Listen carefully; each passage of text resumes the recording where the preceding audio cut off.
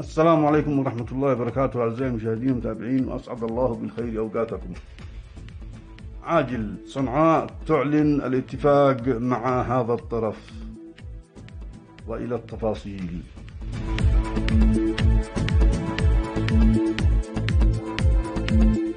أكدت حكومة الإنقاذ بصنعاء اليوم الأربعاء توصلها إلى اتفاق مع حزب الإصلاح سلطة الأمر الواقع في مارب آخر معاقل القوى الموالية للتحالف شمال اليمن.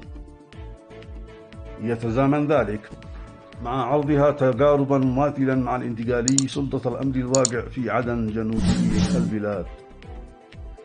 وأفاد حسين العزي نائب وزير الخارجية في تغريدة له على صفحته بمواقع التواصل الاجتماعي التوصل إلى ما وصفه باتفاق أخوي موضحا بأن الاتفاق ينص على اعتماد مبادرة صنعاء بشأن فتح الطرق.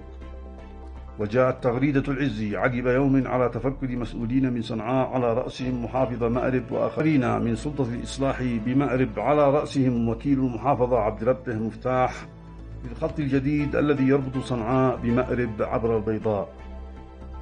ويعد الاتفاق بمأرب ضمن سلسلة اتفاقيات بين الطرفين سبق وأن نفذت بتعز وبناء على مبادرة من صنعاء.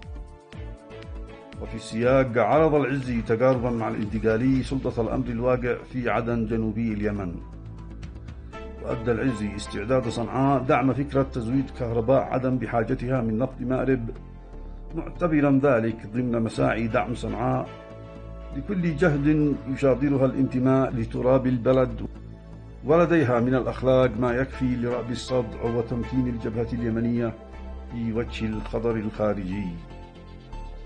أشكركم على حسن المتابعة والإصغاء ولا تنسوا الإعجاب والتعليق على الفيديو والاشتراك في القناة وتفعيل جرس التنبيهات.